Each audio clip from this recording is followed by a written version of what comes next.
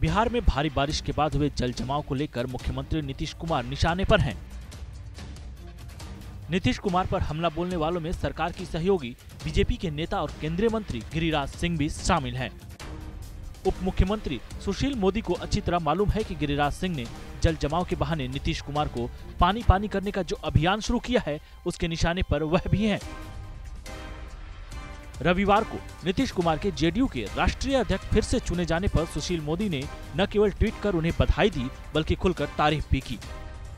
सुशील मोदी ने नीतीश के लिए जो शब्द कहे, वो निश्चित तौर पर गिरिराज सिंह को उनका जवाब माना जा रहा है। सुशील मोदी ने अपने ट्वीट में कहा कि एनडीए के सहयोगी दल जेडीयू का राष्ट्रीय अध्यक्ष चुने जाने पर मुख्यमंत्री नीतीश कुमार को हार्दिक शुभकामनाएँ।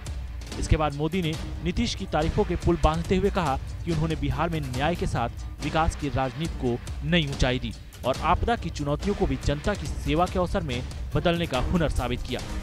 बता दें, गिरिराज सिंह पिछले कई दिनों से आपदा को लेकर नीतीश कुमार पर हमला बोल रहे हैं। इससे पहले एनडीए के एक और घटक दल एलजीपी के मुखिया रामविलास पासवान ने नीतीश कुमार को अध्यक्ष चुने जाने पर बधाई देते हुए उनके कामों की तारीफ़ की थी। रामविलास पासवान ने ट्वीट किया था। बिहार के मुख्यमंत्री नीतीश कुमार जी को निर्विरोध जनता दल यूनाइटेड का राष्ट्रीय अध्यक्ष चुने जाने पर हार्दिक बधाई और शुभकामनाएँ। आपके कुशल नेतृत्व में न सिर्फ़ जेडीयू ने नई ऊंचाइयाँ पाई हैं, बल्कि राज्य के मुखिया के तौर पर अपने सुशासन की नई परिभाषा लिखी है।